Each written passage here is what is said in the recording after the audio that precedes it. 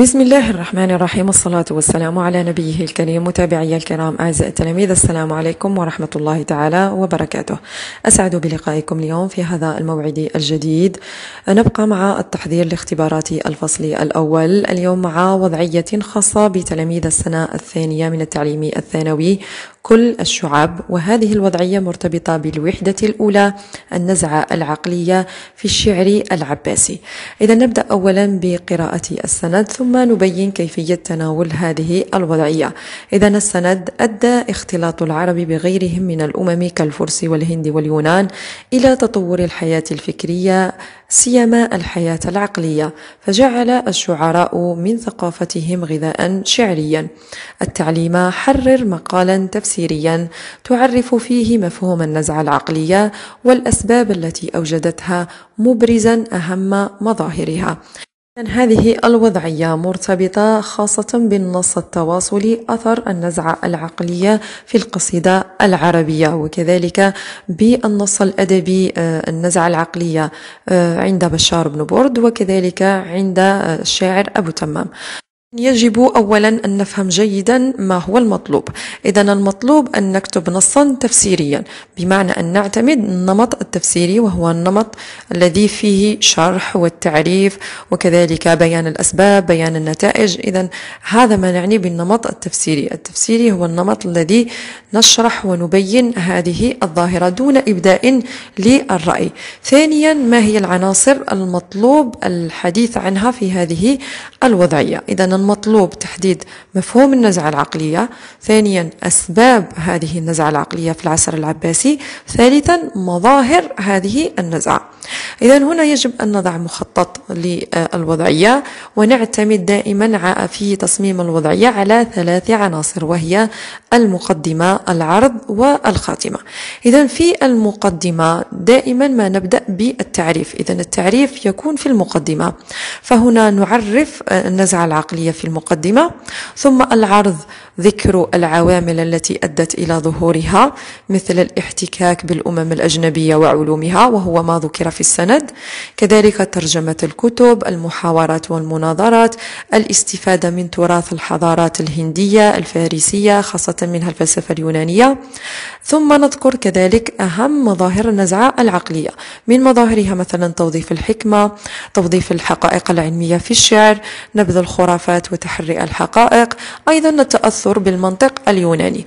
أما الخاتمة فهي تكون آه، حوصلة حول تأثر الشعر العربي في العصر العباسي بالنزعة العقلية وأن هذا التأثر كان واسعا جدا لا يمكن حصره وظهر عند العديد من الشعراء.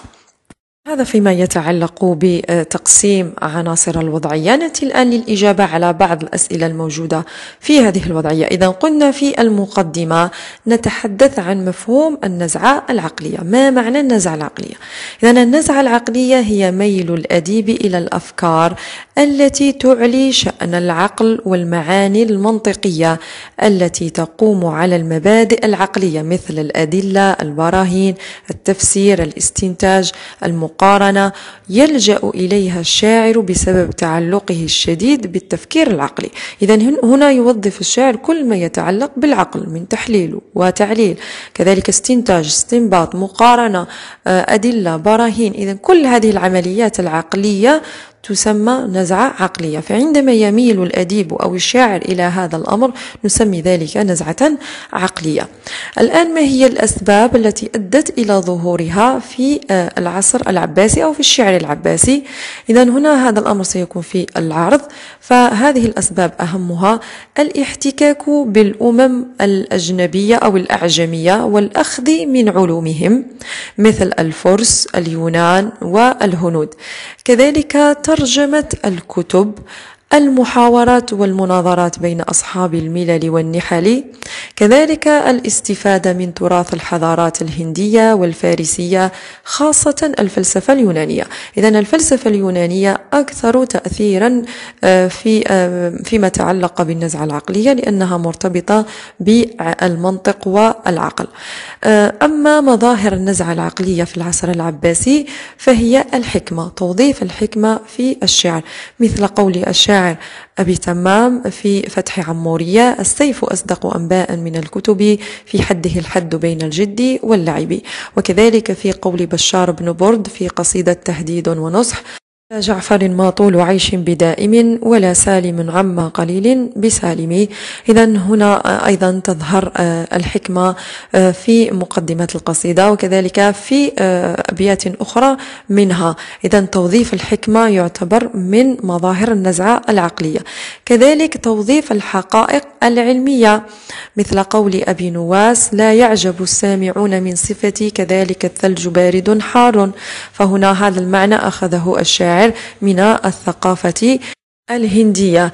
تظهر كذلك النزعة العقلية في تحري الحقائق ونبذ الخرافات مثل اعتماد الشاعر أبو تمام على علم وليس على خرافات المنجمين. إذا في تكذيبه للمنجمين واعتماده على الأدلة والبراهين وتحري الحقائق فهو يرى أن الحقيقة في العلم وليست في التنجيم. إذا تأثر الشعراء بالمنطق والفكر اليوناني. إذا هذه بعض مظاهر النزعة العقلية في الشعر العباسي.